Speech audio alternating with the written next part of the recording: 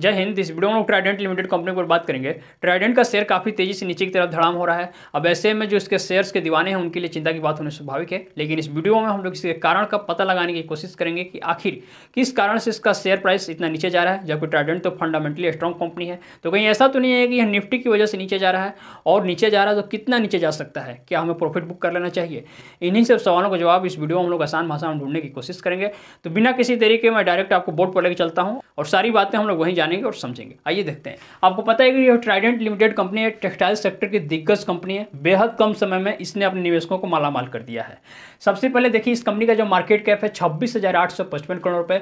जिस तरह कंपनी का वैल्यूएशन तेज़ी से बढ़ रहा है कंपनी का मार्केट कैप भी धीरे धीरे बढ़ते ही जा रहा है। शेयर प्राइस है पचास रुपये पंचानवे पैसा। आपको पता है कि शेयर प्राइस अभी डाउन ट्रेंड में नीचे की तरफ़ जा रहा है। हाई लगा चुका है सत्तर रुपया। यह इस कंपनी का बाउन वीक हाई और ऑल टाइम हाई दोनों यही है। अब समझिए, नीचे क्यों जा रहा है? देखिए, जो ट्राइडेंट कंपनी में पिछले वीडियो में आपको बताऊँगा, जो कंपनी है, इसका जो प्राइस है, बहुत हद तक डिपेंड करता है निफ्टी पर। निफ्टी जब बढ़ता है तो ट्राइडेंट का शेयर प्राइस बढ़ता है। निफ्टी जब डाउन होता है तो ट्राइडेंट का शेयर प्राइस डाउन होता है। यह सत्य एकदम हंड्रेड सत्य है। और अभी ओवरऑल जब पूरा मार्केट ही डाउन जा रहा है तो ज़्यादातर निफ्टी की जो कंपनियाँ हैं, आप देखेंगे डाउन ही जा रही हैं। तो ट्राइडेंट भी थोड़ा सा नीचे जा रहा है। डरने की कोई बात नहीं है। एक सप्ताह का इसका आप रिटर्न देखेंगे तो एक सप्ताह में अभी तीन परसेंट का रिटर्न पॉजिटिव में दिखा रहा है। हालाँकि एक माह का रिटर्न में सत्रह परसेंट का गिरावट ज़रूर आया है लेकिन एक सप्ताह और इसका जो सालाना रिटर्न वो अभी पॉजिटिव में है। यहाँ समझिए इसका जो सपोर्ट लेवल है सपोर्ट लेवल है, पहला सपोर्ट है पैंतालीस रुपये का और दूसरा जो सबसे स्ट्रॉन्ग सपोर्ट है चालीस रुपये का। अर्थात शेयर का प्राइस डाउन हो रहा है तो अधिकतम चालीस रुपये तक आ सकता है, लेकिन यहाँ तक भी नहीं आएगा। मेरे ख्याल से इस वन लेवल तक आएगा, उसके बाद फिर यह ऊपर की तरफ़ उठने लगेगा। और इसका जो रेजिस्टेंस लेवल मान लीजिए शेयर का प्राइस अगर ऊपर जाने लगता है तो ऊपर कहाँ तक जा सकता है शॉर्ट टर्म में?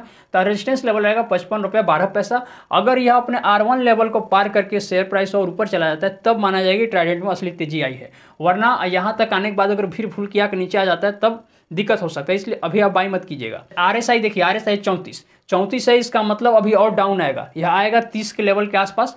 तीस के लेवल तक आएगा, तब तक शेयर प्राइस भी डाउन होकर पैंतालीस या चालीस रुपये के आसपास तक आ चुका रहेगा। और अगर निफ्टी और डाउन जाता है, जैसे अभी आपको पता है रूस और यूक्रेन का तनाव चल रहा है उधर तो अगर यह संकट और गहराता है तो निफ्टी ज़ाहिर सी बात है, नीचे जाएगा। और अगर नीचे जाएगा तो आर एस आई तीस के भी नीचे जा सकता है। अगर आर एस आई पच्चीस आया तब ट्राइडेंट का शेयर प्राइस और बहुत ज़्यादा डाउन हो सकता है। हालाँकि मैं फिर कर रहा हूँ, इसमें घबराने की बात नहीं है। वॉल्यूम देखिए, आज के दिन भी इसमें छियालीस लाख वॉल्यूम क्रिएट हुआ है। मतलब गिरते हुए मार्केट में लोग इसमें अपॉर्चुनिटी तलाश रहे हैं। छियासी लाख लोग आज बाई किए हैं।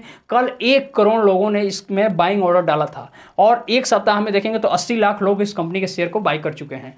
यहाँ देखिए, इन्हीं सब जो अभी इसमें पॉजिटिव मोमेंट ये बन रहा है कि लोगों के लिए बाइंग अपॉर्चुनिटी बन रहा है। इसकी वजह से बिरासी प्रतिशत लोग बाई करने के लिए कह रहे हैं और दस परसेंट लोग सेल करने के लिए करें। या तो जो सेल करने के लिए करें प्रॉफिट वाले लोग प्रॉफिट बुक करने के लिए जो कर रहे हैं, इसलिए दस परसेंट है और बाकी आठ परसेंट लोग होल्ड करने के लिए करें।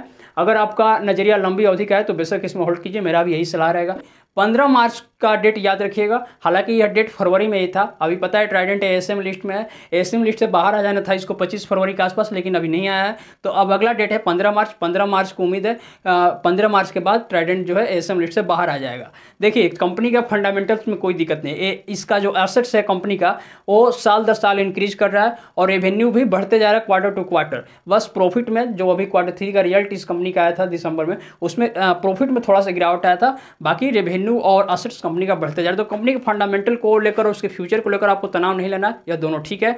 बाकी अगर आप नए हैं, इसमें इन्वेस्टमेंट करना चाहते हैं तो थोड़ा दिन और रुक जाइए। आर एस अभी और डाउन आएगा, थोड़ा और डाउन आने दीजिए। उसके बाद आप एक सही लेवल देकर बाइक कर लीजिएगा। और बाकी जिसका इसमें इन्वेस्टमेंट है, उन्हें डरने, घबराने की बिल्कुल कोई ज़रूरत नहीं कंपनी बहुत ऊपर लेकर जाएगी, आपको आप भरोसा रखिए। उम्मीद करता हूँ वीडियो इन्फॉर्मेटिव लगी होगी। मैं जो बताना चाह रहा था, समझ में आया होगा। अगर मन में कोई सवाल है तो मुझसे ज़रूर पूछिए। बाकी मिलते हैं नेक्स्ट वीडियो में। तब तक के लिए धन्यवाद, शुक्रिया।